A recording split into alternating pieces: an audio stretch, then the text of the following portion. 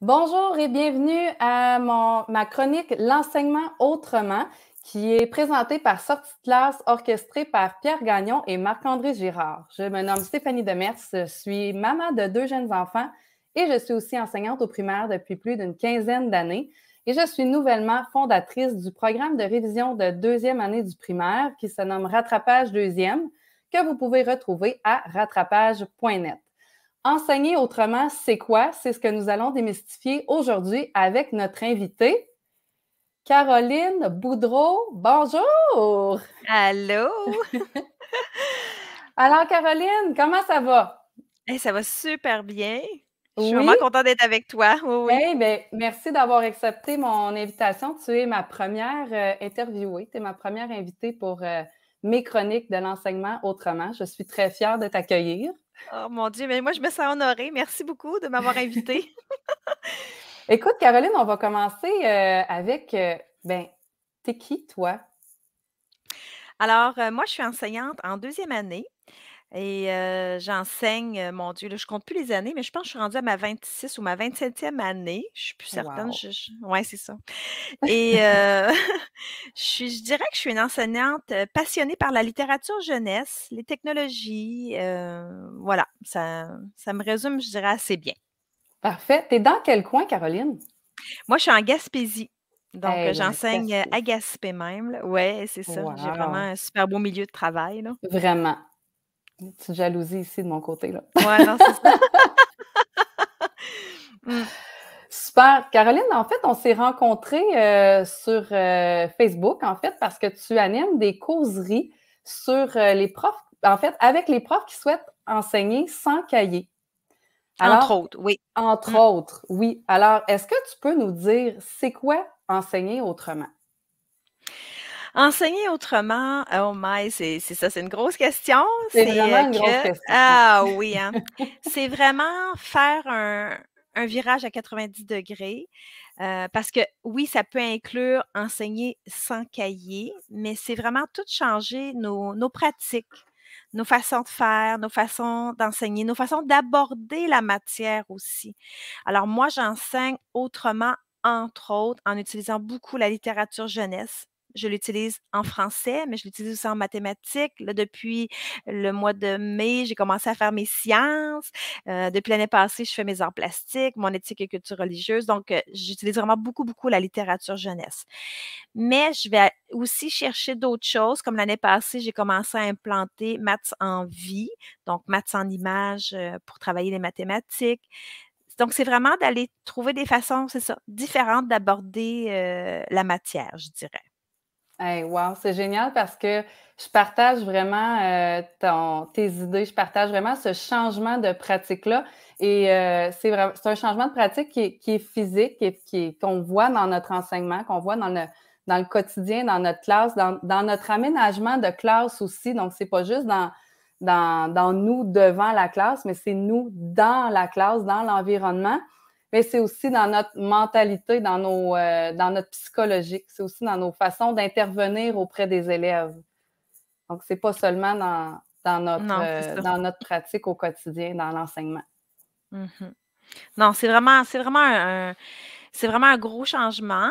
Puis, mais c'est un changement qui peut se faire de façon graduelle. Mais ça, on va en parler, là. C'est oui. ça. Ouais. Euh, et pourquoi est-ce qu'on voudrait enseigner autrement? Pourquoi qu'un enseignant se retournerait, retournerait toutes ses, façons de faire, euh, ses habitudes pour se lancer dans l'enseignement autrement? Moi, chez moi, le déclic s'est fait quand j'ai assisté à une conférence c'est un conférencier qui était venu nous parler sur la motivation des élèves. Et là, il nous a expliqué qu'il y avait comme différents stades, puis ça se décrivait comme en trois grands stades. Il y en avait peut-être plus, mais moi, j'ai retenu trois. C'était d'abord quand on est comme dans nos pantoufles, année après année, on fait les mêmes projets, bon, on a le même cahier. Et là, il nous a dit, là, vous tombez, vous êtes comme dans le bof, c'est comme correct, tu sais. Puis que si on, perd, on reste trop longtemps dans le bof, et là, lui, il parlait pour les élèves, mais ça s'appliquait autant pour les profs, que si on ne se challenge pas, qu'on ne se fait pas faire des défis, qu'on ne change, pas de, change pas de pratique, tout ça, ben là, on risque de tomber dans ce que lui appelait le burk. Mmh Puis là, après ça, il nous a dit, nous, ce qu'on veut, c'est être dans le wow. Puis il dit, pour être dans le wow, ben, il faut proposer aux élèves, ben, aller parler pour les élèves, des défis. Même les élèves forts, il faut leur proposer des défis à relever, sinon, ils sont ben, d'abord dans le bœuf, ensuite dans le, dans le burk. Les élèves faibles, eux autres qui sont dans le burk, si on veut les emmener dans le bof, puis éventuellement dans le wow, ben, il faut alléger leurs tâches. Mais on a transposé ça après pour les profs. Puis moi, je me suis comme, euh, je me souviens, j'étais assise à, l'auditorium, puis je me suis dit, moi, je suis comme en train de tomber dans le bof.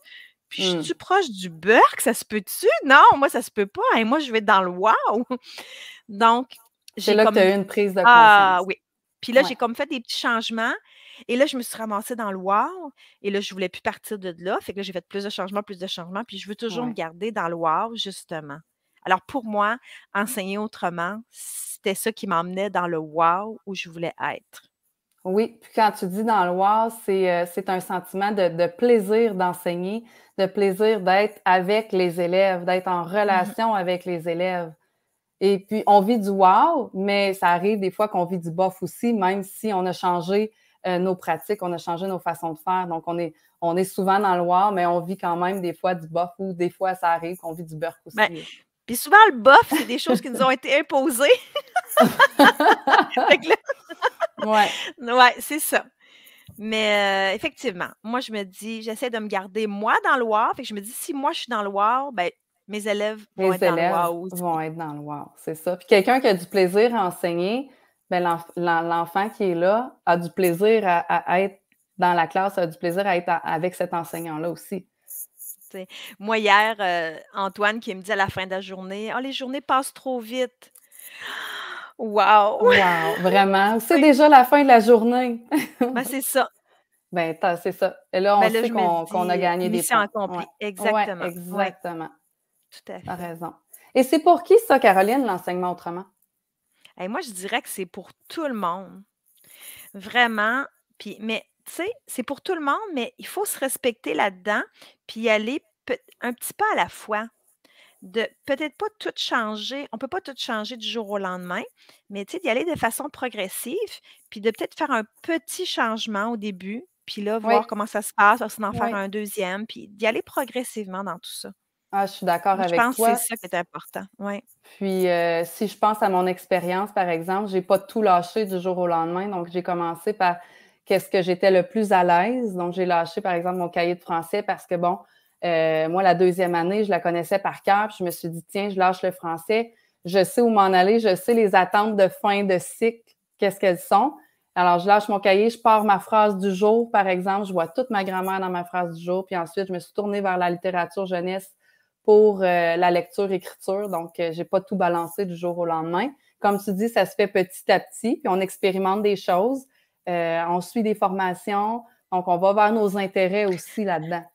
Exactement. Ce que tu as dit, c'est super important, la, formation. Moi, je, je, tout, même durant cet été, je suis allée voir, je suis allée écouter des conférenciers. On a besoin de se motiver, de, se faire motiver, même en tant que prof, parce qu'on est, à quelque part, on est des élèves qu'on apprend des, choses, qu'après ça, on passe à nos élèves. Donc, euh, je pense que c'est super important toujours euh, d'aller se former sur ce qui, sur des nouvelles approches, puis d'avoir des idées. Ça, c'est super important. Puis comme tu as dit, il faut se donner du temps. Moi, je n'ai pas non plus tout lâché en même temps. ça se compte en années. j'ai commencé la littérature jeunesse en français il y a peut-être quatre ou cinq ans de ça. Puis encore aujourd'hui, je développe encore des trucs en littérature pour le français. Tout n'est pas cané. Je développe des choses. Mmh des fois, même, c'est les, les élèves qui me donnent les idées des fois c'est donc une bonne idée, ça. Puis là, moi, le soir, j'arrive chez moi puis je fais quelque chose. Le lendemain, on le travaille ensemble. Donc, les autres aussi sont. Il faut se laisser porter aussi par les élèves. Il faut laisser cette place-là à la créativité. Tu sais, c'est ce qu'on disait juste avant qu'on commence justement l'entrevue. Quand il y a une question, que la question est pertinente, ben c'est important de se laisser aller puis pas de, nécessairement de s'en tenir à sa planification. C'est cette mm-hmm. liberté-là qu'on a dans l'enseignement autrement, quand on enseigne sans cahier d'exercice, on a beaucoup moins de pression à, finir nos pages, à finir nos numéros. On a cette liberté-là. Exactement. Moi, je le dis souvent, j'avais comme en dernier, en tout cas, au début, quand j'avais eu les cahiers, il y a vraiment très longtemps de tout ça, heu, pour moi, les cahiers, c'était comme: «Hey, waouh! Hey, c'est le fun, tout est prêt, c'est un clé en main, heu, c'est merveilleux». Mais là, heu, je me suis comme rendu compte rapidement que mon, mon cahier était devenu un boulet pour moi. Que, heu, il m'empêchait de faire plein de projets que j'avais le goût de faire, puis c'était comme: «Ah non, OK, il faut que je termine ça pour cette semaine, heu, il Ouais. faut que je fasse ci». J'avais un petit peu la pression parentale ou même de la direction de faire, heu, tant de pourcentage du cahier, puis Ouais. non, fait que pour moi, à la fin, le cahier était devenu un boulet, fait que c'était comme beurk le cahier. Donc c'est pour ça que quand moi j'ai lâché le cahier, mais je l'ai lâché quand j'étais prête. Mais Quand je me suis dit: «OK, là». Puis quand on a un peu moins d'expérience, le cahier, c'est sécurisant aussi parce que Oui. ça ça a ça a une organisation, ça a un un fil conducteur, donc tu peux t'appuyer là-dessus quand tu es un peu moins expérimenté, tu connais pas nécessairement le programme. Donc c'est des balises, donc c'est pas nécessairement mauvais non plus, mais à un moment donné, quand tu commences à connaître ta matière, à savoir où tu t'en vas, et là, tu peux délaisser cette espèce de sécurité-là et te faire confiance parce que c'est ça aussi, c'est il faut se faire confiance en tant qu'enseignant. Mmh, On est tellement. compétent, on a des belles compétences, puis il faut les mettre en œuvre, ces compétences-là.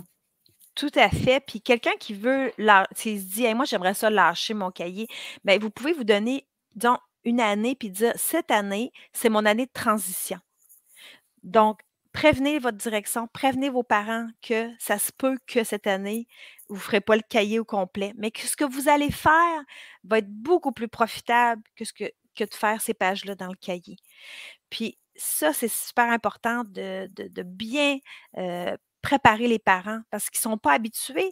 Pour eux autres, c'est la sécurité, le cahier. Absolument. Puis parce qu'eux autres, ils Ouais. pensent que le cahier, c'est le programme. Mais non, C'est ce qui moi est je dis à mes parents: «Moi je suis moi je vais suivre mon programme, heu, inquiétez-vous pas. Mais j'aurai pas de cahier que je vais suivre, par exemple. Mais je vais là voir mon programme, ça inquiétez-vous pas». Je c'est là que la communication avec le parent devient primordiale parce que justement, ils ont besoin d'être rassurés parce que le cahier, c'est ce qu'ils ont toujours connu, même quand eux étaient à l'école, quand ils étaient jeunes. Donc, c'est d'aller sécuriser. Puis moi, je dis souvent, les parents veulent tous être des petits oiseaux sur le bord des fenêtres pour voir ce que leur enfant fait dans la classe. Donc, ben, profitons-en, ouvrons-la, cette fenêtre-là. Surtout avec les technologies aujourd'hui, c'est Prendre des facile de photos, ben ah oui. oui, exact. Prendre des photos, des vidéos, partager les documents. Donc, c'est rendu, c'est beaucoup plus facile qu'avant de communiquer avec la maison.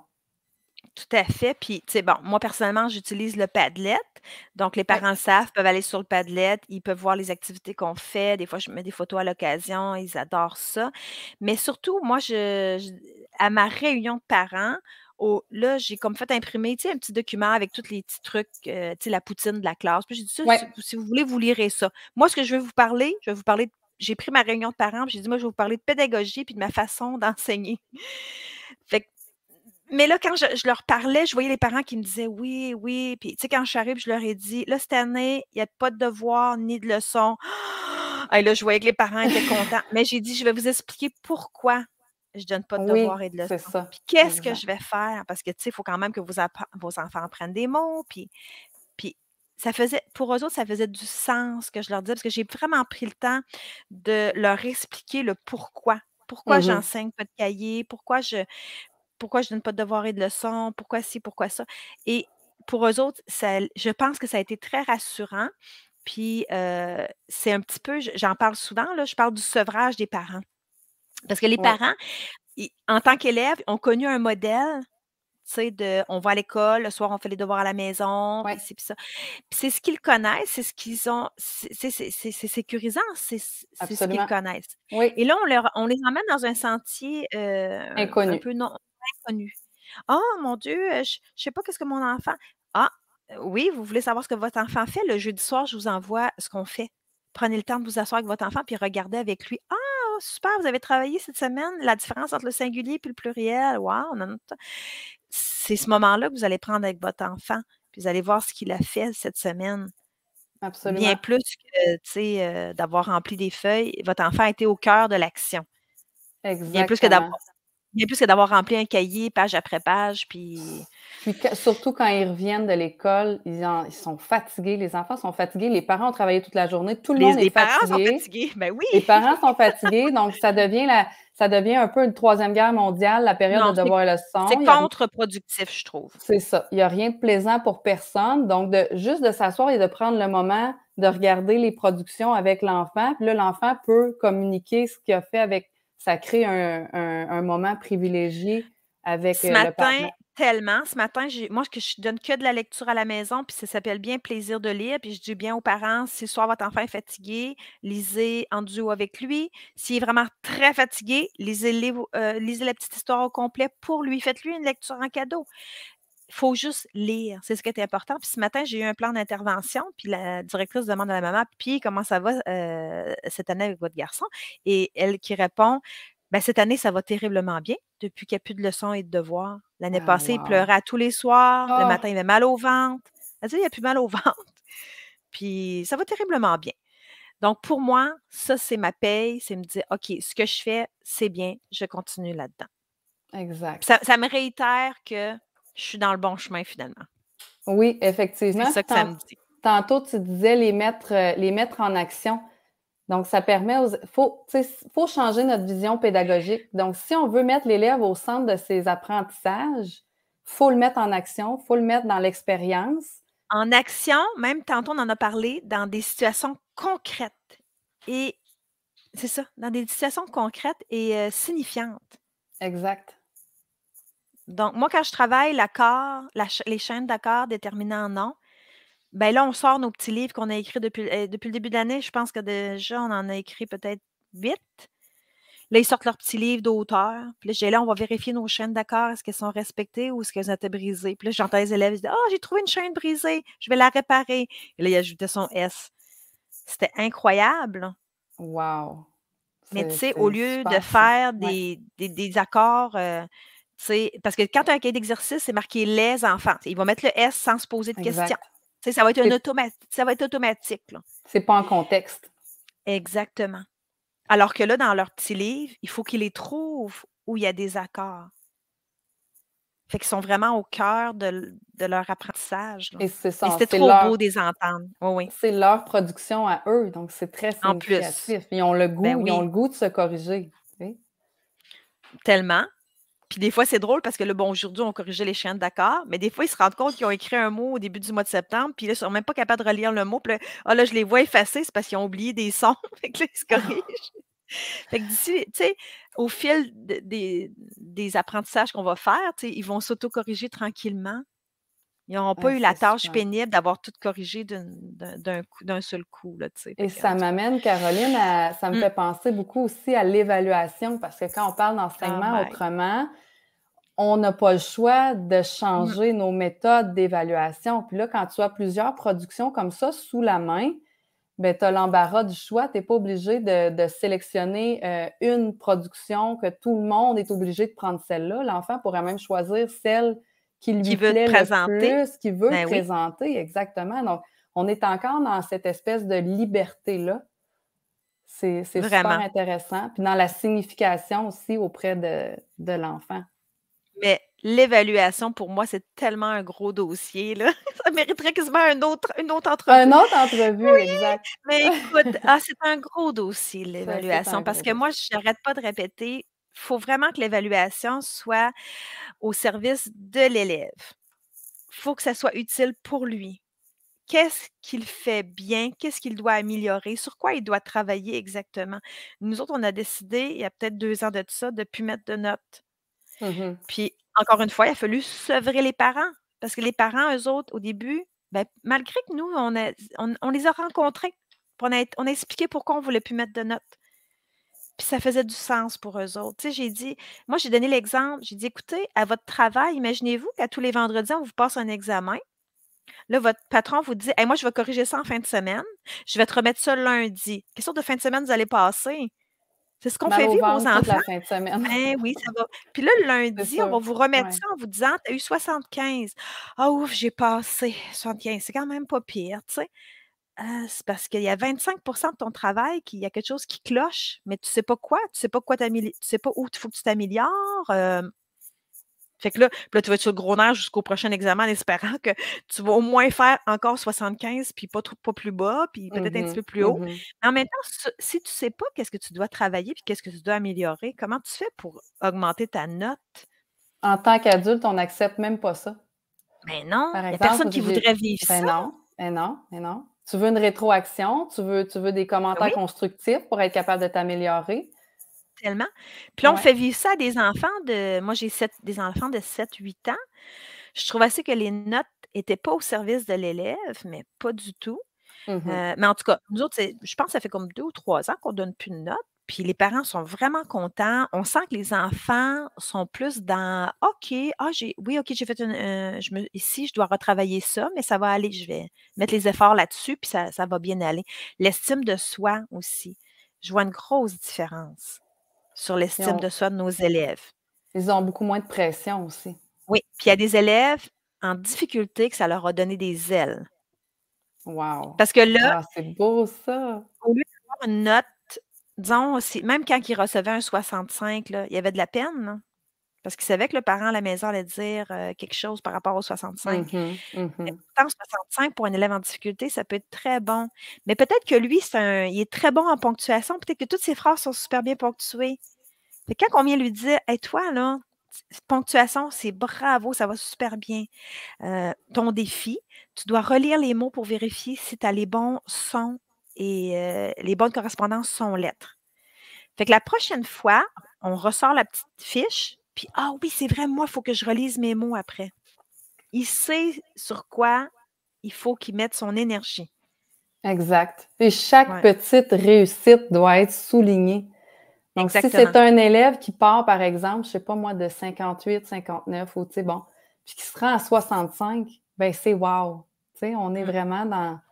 Mais quand on est dans la note, ça se peut que l'élève faible soit à 65, qu'il fasse des beaux efforts, mais comme les difficultés se sont augmentées, qu'il a encore la note de 65. Pourtant, lui, il s'est amélioré, mais sa mmh note n'a pas changé. C'est quel message qu'on lui envoie? Même si tu fais des beaux efforts, ça ne donne rien. Alors que si on lui met une rétroaction écrite, c'est marqué Wow, j'ai vu que tu t'es amélioré dans telle, telle chose. Wow, je me suis améliorée je suis sur le bon chemin, je continue à faire des mmh c'est vraiment, euh, je trouve, en tout cas, ça fait toute la différence. C'est sûr que nous, en tant qu'enseignants, on la voit parce qu'on n'a pas le choix de chiffrer notre bulletin. c'est plutôt mmh. là, euh, même si on. ils n'ont pas besoin, ils n'ont pas besoin de voir ça. Non, ils n'ont pas besoin de voir ça. Exactement. Et puis, Caroline, qu'est-ce que tu suggères à un prof qui veut se lancer, mais qui ne sait pas trop par où partir? Ben, je lui dirais de se réseauter, de se trouver des profs qui, comme lui, ont le goût d'aller un petit peu, on va le dire, à contre-courant pour pas être seul dans son petit coin. Fait que si vous avez la chance à votre école d'être appuyé par vos directions ou encore par vos collègues, ça c'est super. Mais des fois, ça peut, ça se peut que dans votre école, vous êtes tout seul. Alors à ce moment-là, il faut se réseauter. Et moi, c'est sûr que j'ai tatoué sur le cœur l'école en réseau. L'école en réseau, c'est un organisme qui permet ça. Donc, il y a un site web, École en réseau. Si vous ne connaissez pas, il faut venir découvrir ça. C'est vraiment pour les écoles du Québec. Ça vous permet de vous réseauter entre vous autres. Puis si, bon, entre autres, on organise des causeries enseignées, euh, nous, on appelle ça enseigner sans cahier, là, mais quand même, c'est un petit peu enseigné autrement, où on discute ensemble et on partage nos pratiques, on mmh partage qu'est-ce qu'on, nos, nos astuces, comment qu'on fait. Donc, le réseautage est super important pour ne pas se sentir tout seul. Ça, ce serait une des choses. qui veut se partir, ben, on a des groupes d'entraide, comme il y a un groupe Facebook qui s'appelle Enseigner sans cahier, de venir là pour avoir des, soit des ressources, mais des fois, les ressources, ce n'est pas nécessairement des documents. Hein. Les ressources, des fois, ça peut être des idées, des astuces, parce que souvent, quand on enseigne sans cahier, on n'a pas nécessairement, des fois, il y en a qui se font des petits PDF, mais comme il y en a qui s'en font pas, mais des fois, c'est juste une idée des fois, moi, j'ai des collègues qui me donnent juste une idée, puis je pars de ça, puis moi, je vais mmh travailler quelque chose avec ça dans ma classe. Fait que le partage d'idées, c'est super important. Moi, je dirais de commencer comme ça, de se réseauter avec des gens. Dans les centres de services scolaires, donc il y a les conseillers pédagogiques aussi qui peuvent appuyer, de nous guider, en fait. Mmh Il y a des mentors aussi. Oui, exactement. Oui. Il y a des mentors. Des fois, il y a des gens qui sont, qui sont en mentorat dans les centres de services scolaires, que c'est leur mandat d'accompagner les enseignants dans, dans, dans, différents, dans différentes méthodes. Puis à l'école en réseau, ce qui est le fun, c'est qu'il y a un côté pour les élèves. Donc, il y a plein d'activités pour les élèves, mais il y a un côté développement professionnel. Et là-dedans, bon, il y a les formats profs que j'anime et que d'autres profs animent. C'est des formations animées par des profs. Il y a des causeries mais on peut aussi leur demander de nous accompagner pour créer des COP. Donc, quelqu'un qui dit, ben moi, j'aimerais ça enseigner sans cahier, je suis en première année, mais je suis toute seule, peut contacter l'école en réseau et les autres, ils vont vous aider à vous organiser une petite COP avec d'autres profs. Moi, des fois, j'ai monté des COP. L'année passée, quand je voulais monter ma littérature en mathématiques, j'étais toute seule. L'école en réseau, on a fait une petite annonce. Je me suis ramassée avec cinq autres profs, euh, deux conseillers pédagogiques. On s'est fait une COP. On s'est rencontrés à peu près une fois par mois, mois et demi. Et là, on allait discuter ensemble. OK, t'as-tu essayé ça? Oui. Oui, mais ça a été difficile. Ah, ben, tu pensais que tu aurais pu faire ça comme ça? Non? Ah, wow, OK, là, je vais l'essayer comme ça. On se nourrissait entre nous. Puis on allait vraiment chercher notre motivation à vouloir développer d'autres activités. Donc, on, revient, Caroline, on revient à la posture d'apprenant. Donc, il, ben faut se mettre en posture d'apprenant. Puis il mmh faut aller vers les autres, puis on n'est pas spécialisé dans tout, dans tout.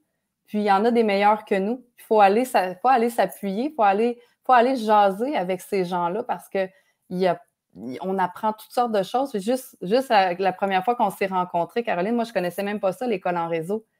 Donc, j'ai été voir la plateforme, c'est génial, c'est bien fait, c'est riche. Donc, il ne faut pas rester tout seul dans son coin. Il faut que la porte quand on décide d'enseigner autrement, c'est la, porte de la classe, elle est ouverte. Mmh. Puis j'aime ce que tu as dit, hein, qu'on n'est pas des experts dans tout. Puis moi, je n'ai jamais peur de montrer ma vulnérabilité aux élèves, de leur dire Ah, OK. Ah, ben, sais-tu, moi, je ne connais pas. Euh, bon, là, cette semaine, c'était sur les grizzlies. Un élève qui a fait une, qui a dit quelque chose. J'ai dit Ben, sais-tu, moi, je ne connais pas vraiment beaucoup les grizzlies, mais je pourrais aller m'informer. Fait qu'on est allé vérifier. Puis effectivement, ce qu'il a dit, c'était véridique. Mais c'est ça, tu le dis, on est dans un. Nous aussi, on, bon, on est des enseignants, mais à quelque part, on est des élèves parce qu'on est des apprenants. Fait qu'il ne faut pas avoir peur d'aller voir ailleurs ce qui se fait, puis d'aller écouter les autres. Euh. Moi, je, je, participe souvent, il y a des webinaires qui passent, je m'inscris, je vais écouter. Euh, souvent, je, vais, prendre quelque chose. Ouais. Il y a l'école branchée aussi, Caroline, qui a fait mmh énormément de formations euh, sur les différentes technologies qu'on peut utiliser en classe. Ce sont des gens qui sont, euh, très disponibles, euh, qui ont beaucoup à donner. Donc, il y a beaucoup d'informations qu'on peut aller chercher là-dedans. Donc, il y a toute la plateforme web, mais il y a aussi les magazines. On parlait d'évaluation. Il y a un magazine complet de l'école branchée sur l'évaluation. Donc, ça aussi, c'est une ressource qui est, qui est très intéressante. Ah non, puis moi, j'avais eu la chance de participer à un créa camp une fois, puis j'ai adoré. Parce que ah, là, j'étais vraiment dans le rôle d'apprenant. Parce que quand on va à un créacamp, on part la journée, puis tu sais, ça, se dirige vers où le groupe va nous mener. C'est ça qui est mmh génial. Mmh Mais vraiment, c'est, euh, j'adore. Mmh. Caroline, quels sont les incontournables à changer dans notre pratique pour enseigner autrement? Oh je pense là, qu'une des choses qu'il faut changer, c'est de se faire confiance et d'arrêter de penser à qu'est-ce que nos collègues vont dire, qu'est-ce que les parents vont dire, qu'est-ce que, qu'est-ce que, qu'est-ce que, et se faire confiance dans ce qu'on fait. on l'a dit au début, on est compétent, on est des enseignants, on, on s'appuie sur notre, notre, Bible, c'est notre, euh, notre PDA, mais après ça, le reste nous appartient. Puis c'est ça. Moi, je, je, pense que c'est ça qu'il faut surtout changer. Notre, la peur, les profs, hein, tout à l'heure, je parlais avec quelqu'un qui disait Ah là, moi, je fais au moins euh, euh, deux, trois examens là, pour les parents. Les, pour les parents, euh, non, c'est pour les élèves que tu vas faire une évaluation. Puis c'est pas obligé d'être un examen. Là, tu, sais, tu peux faire des observations, tu peux, ça, peut être dans, mmh ça peut être dans la, dans un exercice que tu vas faire aujourd'hui, tu te prends une petite note. Ah, t'es l'élève, il faut que tu revoies avec lui leur croissance, tu sais, puis il faut que ce soit au service de l'élève. De l'élève, tu as raison. Puis, il faut respecter son rythme en tant qu'enseignant parce que ta classe, c'est pas la classe d'à côté, puis tu n'enseignes pas comme la prof d'à côté non plus. Puis il faut, il faut respecter ça.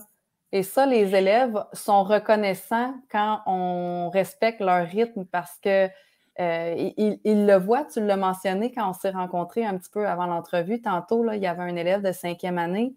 Mmh, qui avait dit à sa prof c'est le fun, cette année, on a le temps de vraiment travailler les choses en profondeur. C'était une, prof qui était une causerie que j'avais animée qui avait dit ça. Moi, j'étais faite comme Waouh, l'élève a comme cinquième année, il y a quoi, 10, 11 ans. Puis lui, il s'en est rendu compte. C'est génial. Puis, tu sais, moi, ce que j'aime d'enseigner autrement, c'est que si jamais je fais une notion puis je vois que «Hum, c'est pas solide encore, ben, je peux repasser une deuxième semaine là-dessus. Tu sais, je peux mmh revenir dessus mais j'ai pas la pression de «Ah là, il faut que je finisse ça à telle semaine ou à telle semaine» ou là, je suis rendue à la section 7, la semaine prochaine, c'est la section 8. Je suis tellement pas là-dedans. Mais ça nous laisse, Caroline, euh, je trouve ça nous reconnecte à notre, euh, à notre soi. Ça nous reconnecte à notre relation avec les élèves parce qu'on est beaucoup moins centré sur euh, le cahier, sur sur l'enseignement, sur la pédagogie, parce qu'on a cette espèce de liberté-là. On sait où est-ce qu'on s'en va, mm-hmm. on sait comment on va le faire, mais c'est pas tout qui est planifié au pied carré dans notre, dans notre journée. Donc, il y a toujours cette place-là à la créativité, puis euh, au, au, ben, à se laisser aller finalement. Ben oui, parce que même moi, des fois, le matin, j'arrive puis je regarde, je fais ma planif, disons, de la journée. Puis des fois, je me rends compte dans l'après-midi, ah, finalement, on n'a pas fait ça. on a fait ça à la place. Ou, tu sais, euh, je, fais tout, je suis tout le temps en train de changer euh, la planif. donc, euh, exactement. Parce que tu suis ton groupe. Tu suis où est-ce ben que les élèves t'amènent aussi. Mmh s'il y a un élève qui arrive un matin et qui a envie de jaser d'un sujet, puis là, tu embarques dans ce sujet-là, puis finalement, ça a pris 45 minutes, mais, mais c'est pas grave. On a communiqué, on a échangé, tu as connu, connu tes élèves davantage, donc il y a toujours à gagner. C'est rien qui est c'est rien qui est perdu. Il y a quelqu'un qui me demandait à un moment donné OK, tu fais plus euh, les, les élèves étudient plus les mois à la maison. Non, on travaille à l'école tous les jours. Tous les jours, combien de temps par jour? Moi, je disais, moi, je compte pas ça là, parce que je vais capoter. Je commence à compter combien de temps. J'ai dit, bah, je vais faire un petit peu le matin, un petit peu aller dîner, un petit peu après dîner. Euh, le soir, comme ce soir, là, il restait cinq minutes. Je leur ai donné un billet de tirage. J'ai dit, OK, je vais vous donner un groupe du nom. Euh, tous ceux qui vont bien accorder leur groupe du nom, ça va être dans le pot. Ils, avait, avaient le droit même une deuxième chance. Je pouvais leur dire euh, Ah, as-tu pensé à ton balai magique? Puis là, ils retournaient se corriger, ils revenaient. Et là, j'ai pigé après ça un élève. Euh, c'est un, genre de dictée de tirage, là, tu sais. Mais tu sais, il restait cinq minutes. Là. Fait que là, au lieu de perdre mon cinq minutes, là, on a fait. Exact. On l'a rentabilisé. Mais je me dis toujours, le temps que je prends là, comme pour faire même la phrase du jour au début, c'est extrêmement long. Ben, je le récupère ailleurs parce qu'à un moment donné, ils vont faire moins de fautes, moins d'erreurs. Ça va être beaucoup, ils vont être beaucoup plus rapides parce qu'ils vont être rendus plus efficaces. je ne calcule jamais le temps. Je me dis pas, ah, ça, j'ai passé une heure là-dessus. non, je fais pas ça.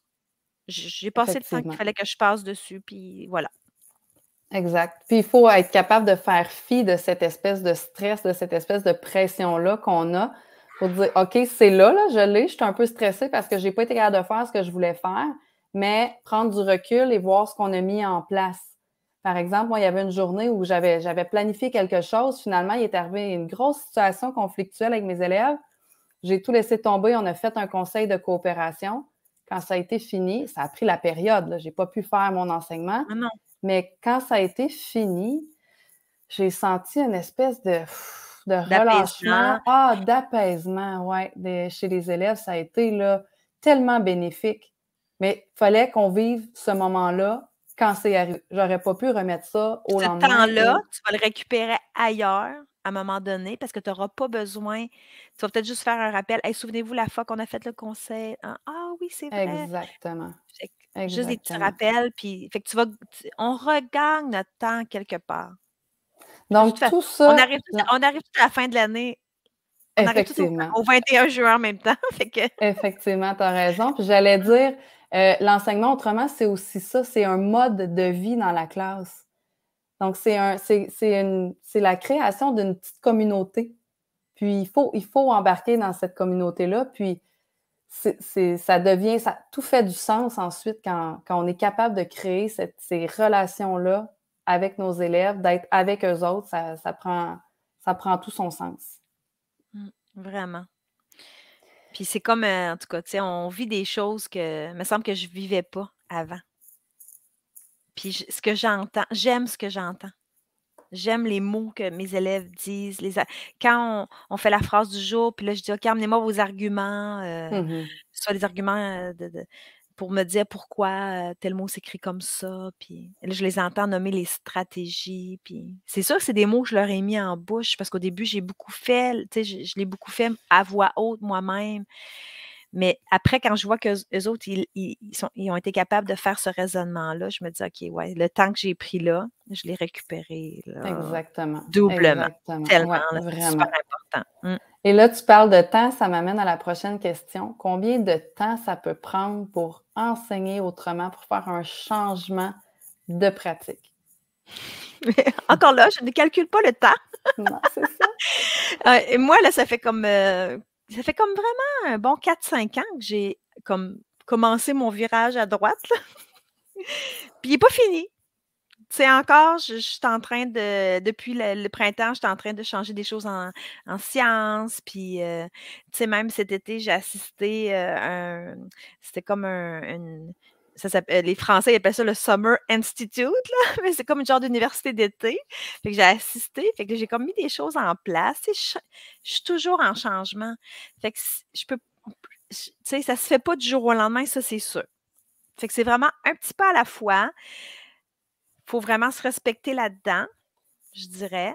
Puis, tu sais, y aller dans, commencer, tantôt tu l'as dit un petit peu, commencer parce que ce, dans ça, ça, dans ça, on se, euh, voyons, qu'on est le plus sécure, qu'on se mmh sent le plus. OK, là, je suis solide en français, je vais lâcher, disons, le cahier de français. Euh, c'est ça. Faut, puis il faut y aller un petit peu à la fois. Il faut se respecter dans tout ça.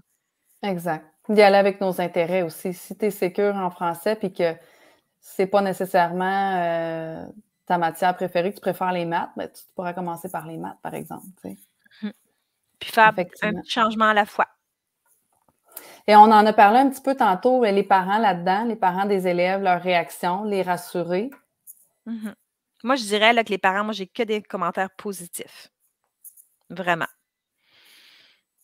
Les parents sont vraiment contents. Euh, euh, des fois, on en parle, puis on avait passé un sondage à un moment donné aux parents, puis vraiment, c'était pas mal tout du positif qui était ressorti de ce que les parents nous disaient. Donc, mais je pense qu'il faut être clair leur expliquer notre démarche, puis ça va faire du sens dans leur tête. Puis, tu sais, de leur dire que c'est pour le bien de l'élève, pour son estime de soi, puis que nous autres, on travaille des choses à long terme. Ce qu'on met en place, c'est pour la presque pour la vie. Tu sais, on mmh espère. Tu sais. Mmh. Effectivement. Puis quand tu es, quand vrai, quand tu es authentique, ben ça, ça, vient de soi aussi. Les parents, les parents, il y a, y a, un lien aussi qui se crée avec le parent. Donc, on parlait de communication tantôt. Donc, quand le parent te fait confiance, ben, ça va de soi. Après ça, ça, ça coule. Moi, je suis dans un petit milieu. Donc, j'ai la chance d'enseigner aux frères et aux petits frères, aux petites sœurs. Puis à la rencontre de parents, cette année, je pense, j'ai comme huit petits frères, petites sœurs. Et c'était vraiment trop beau d'entendre les parents des grands frères, grandes sœurs. Quand je disais quelque chose, ils, en rajoutaient par-dessus moi. Puis ils disaient Ah oui, nous autres, quand, quand euh, l'élève était avec toi. Hein. Puis là, moi, j'étais comme Hey, merci. Parce que là, ça, ça, ça, rassurait les autres parents mmh autour. Mmh c'est de dire inquiétez-vous pas, elle a sait où qu'elle s'en va. Puis, euh, puis ce que je dirais aussi, les parents, ce qu'ils voient, c'est que leurs enfants ont, eu du plaisir puis qu'ils ont aimé. Ils ont aimé ça, ils, étaient bien. Là, ce soir, mes élèves sont partis, ils ont écrit un livre de potions magiques avec des ingrédients de sorcières, puis ils vont présenter ça à leurs parents ce soir. Je le sais que dans les maisons, les parents n'en reviendront pas de ce qu'ils ont fait, ce qu'ils ont produit. Euh, même moi, je suis impressionnée par mes élèves. Donc, je pense que les parents voient qu'est-ce qu'on fait, puis ça. Puis moi, les parents qui me disent Hey, moi, mon enfant a plus mal au ventre. Ouais. Mon enfant, mon enfant a plus mal au ventre depuis cette année. Wow, moi, je me dis, ben wow, c'est merveilleux, ça. Euh, mon enfant se lève le matin, il a envie d'aller à l'école, il est content. Ouais. ouais. Ça, ça aussi. C'est la paye, ça. Exactement. Ou même moi, les élèves, le vendredi, je dis OK, on, à demain. Ah, non, pas, pas demain. À lundi, c'est la fin de semaine. Puis là, quand j'ai des élèves qui me disent Ah non, ça, tu sais. Puis le lundi, ils, ont hâte de revenir à l'école. Mais moi aussi, j'ai hâte d'arriver le lundi. Mmh ça aussi, je pense que ça. Ils le sentent. Tu sais? Parce que je pense que j'ai autant de fun qu'eux autres à faire les projets. Donc, c'est ça qui est euh, important. On en a parlé, Caroline, le plaisir. Il faut mmh. avoir du plaisir. Si on n'a pas de plaisir, faut, il y a quelque chose qui ne fonctionne pas. Non, tout à fait. C'est vraiment un des mots. Euh, un, des mots clés. Ah, tellement, vraiment. Ah oui.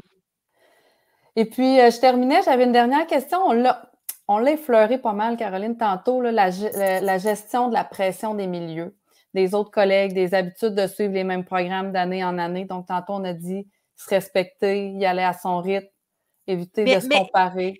Respecter, mais je dirais aussi respecter nos collègues. Il faut respecter qu'il y a des collègues pour différentes raisons, soit parce qu'ils viennent d'arriver dans un niveau, soit parce qu'ils n'ont peut-être pas la même sécurité. Ou... Puis ça, il faut respecter ça. Parce que moi, quelqu'un qui me dit, tu sais, j'enseigne avec un cahier, OK. Parce que j'ai enseigné, moi, avec des cahiers pendant plusieurs années. Puis c'était correct. Moi, j'ai décidé de faire un changement. Je ne veux pas l'imposer aux autres. Euh, puis, euh, c'est ça. Mais moi, il faut respecter nos collègues là-dedans aussi. Puis moi, ce que je trouve un point super important, c'est d'être appuyé par nos directions. De dire, euh, OK, toi, tu as le goût d'y aller comme ça, je t'appuie là-dedans. Moi, j'ai la chance extraordinaire d'avoir, c'est ça, une direction d'école qui nous appuie dans nos, dans nos pratiques et qui respecte les pratiques que chacun veut bien mettre en place, je dirais. ça, ça c'est un gros morceau. Parce que se faire imposer de ne pas avoir de cahier, ben, c'est aussi pire que de se faire imposer de prendre un cahier. C'est pour ça. Oui. Tu as raison. Puis ça, je l'entends souvent. Moi, ma direction m'impose de prendre euh, un cahier. Ou j'ai entendu le contraire, ma direction m'impose de ne pas prendre de cahier. Qu'est-ce que je fais? Ah! ah! j'ai fait comme attends, là, je vais t'aider, je vais te donner mes. je trouve Mais c'est là c'est le respect. Oui, oui. Mmh Effectivement, tu as raison, Caroline, le respect. on l'impose à nos élèves, mais en tant qu'adulte, il faut, il faut faire preuve aussi. Puis ça, revient à chacun son rythme. Oui.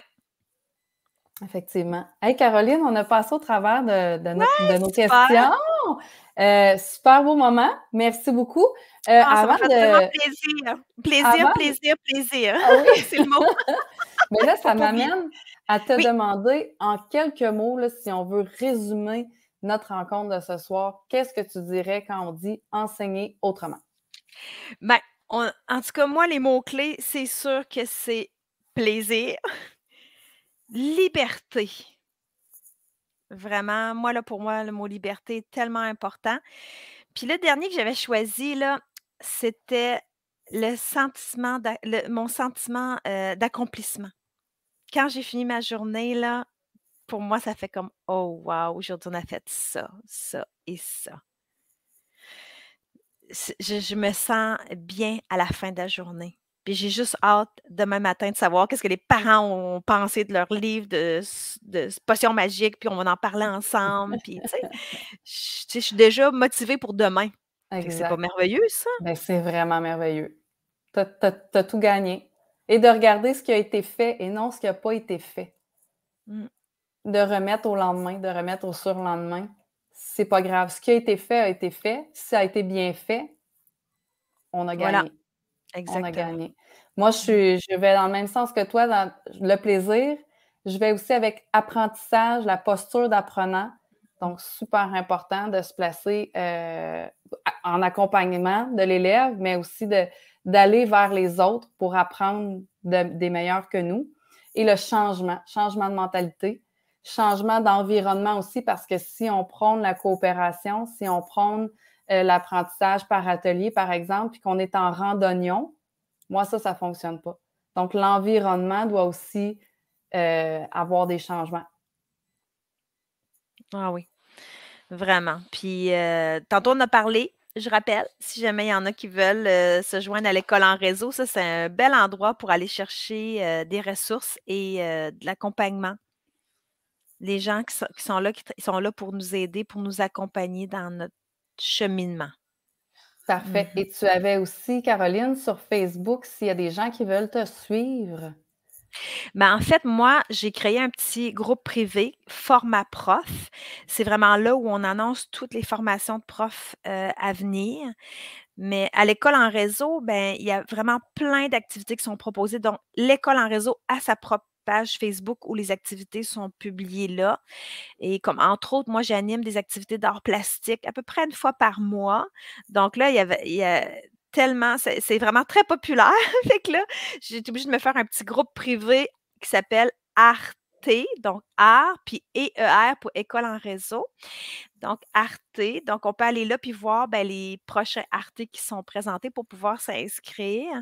Et aussi, bon, ben, je suis sur le groupe euh, Facebook Enseigner sans cahier et j'ai aussi le coin des profs Smart pour ceux qui ont le logiciel Smart Notebook et qui désirent partager des activités, parce que je suis très technologique aussi. Je n'ai peut-être pas parlé de ce côté-là, là, mais j'utilise beaucoup les technologies pour faire des activités avec mes élèves.